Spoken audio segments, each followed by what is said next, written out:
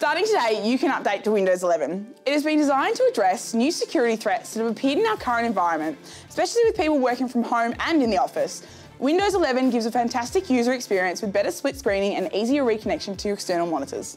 For IT managers, you guys can roll out Windows 11 throughout your organisation using your current management tools, such as Microsoft Endpoint Manager.